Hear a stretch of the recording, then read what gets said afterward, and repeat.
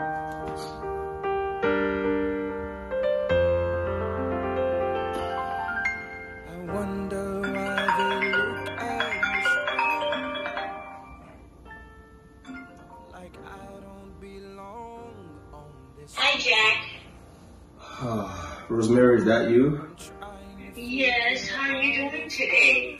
Uh, I wish I could tell you I was doing well, but I, uh, I'm not. I'm not doing well at all. I'm, I'm struggling. I'm struggling. Oh, I'm so sorry to hear that. How can I help? Uh, I don't know how you can help me. Uh, just addiction, no job, uh, no food. I'm just, I'm just struggling. The pandemic has made things worse. Uh, I just, I just need something to get me out of this. You know what? As I was praying this morning, the Lord just told me to check on you, and I'm glad I obeyed. Would you please honor my invitation and come to church with me tomorrow? Uh, This is like the what's the third, the fourth, or the fifth time you're inviting me to church, and I've not accepted. Please? I, I just hope I'll get what I need because I just I just want to get out of this rut. I don't really care where I go. Just I need some help. I need some. You know what? We do have help available. We have resources that can help you update your resume so you can apply for jobs. And also we have a food shelf program also that can help you, you know, while you try to get yourself together. Don't worry, I'll connect you with the right people. Just come with me, please, Jack. Okay, uh, okay. This this this one time. Okay, okay. Let's let's just try. I'll pick you up at 9:30 a.m. and we can we can go out to lunch afterwards. Is that okay? Okay, that sounds good. That sounds lunch. Lunch sounds really good. Thank you. You so made my day. All I'll right. see you tomorrow. Okay, I'll see you tomorrow. Bye. All right. Bye.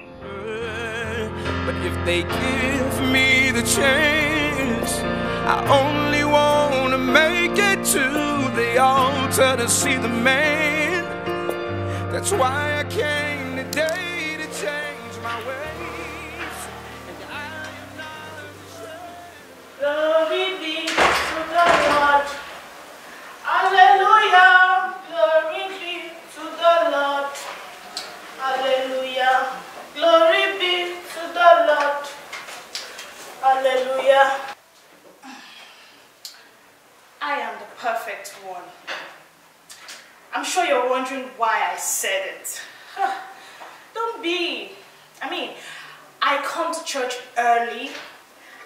Pay my tithe and my offering.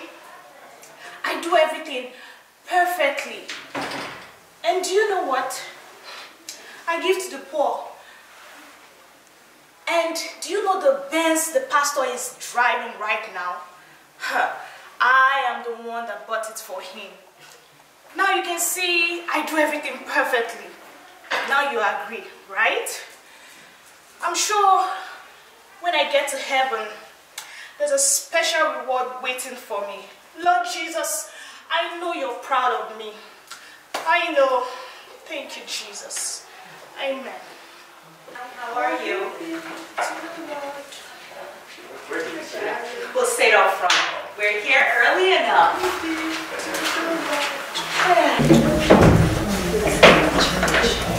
Well, um, hello, good morning. Um, can you guys please sit in the back, please? But this is prior to service and we came on time. Um, Why are we, why are you asking us to move again? Although you did come on time, um, unfortunately, we don't really dress like this here. Excuse me, what do you? Didn't you hear what she said?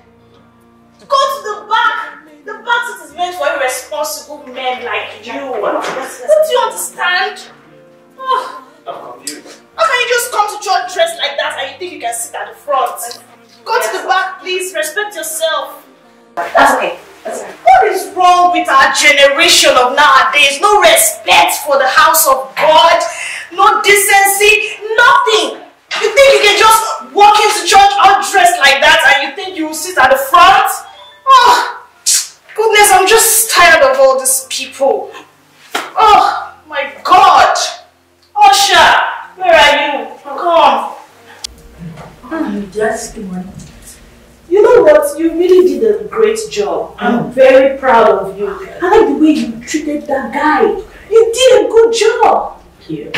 You know what? This shoe you've been wearing for over 10 years. Hmm. Okay. I'll, I'll change it for you. I can do that. It's something I can do. Good. Thank you. You're welcome. Hmm.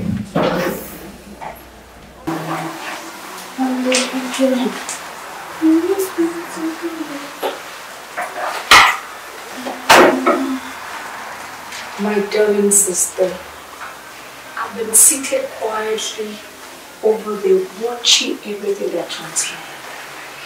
And I must say I am highly disappointed. Bible says to us in James 4.11 that we should judge not so that we will not be judged. Even in John 7.23 tells us that the physical appearance does not matter. You don't have to judge by the outward appearance. How do you want to preach to them that Christ loves them? Like our name implies, this is a Christ family kingdom center. If you think the way the brother is dressed is wrong, there's a better way you can put out your what you have to say and you will understand. You don't have to be harsh or rude about it. I'm afraid you have to apologize to him. Mrs. Uh, Cathy, I can see you want to take my place, eh? Thank you for your preaching before pastor's preaching. Excuse me.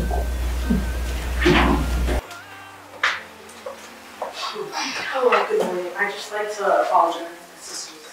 I just want to apologize to you based on your opinion. You know, I'm highly disappointed. This is his first time in this sanctuary, and I invited him here, and you totally just embarrassed me. You really need to go back to canceling. I'm very sorry. And you know what? I forgive you.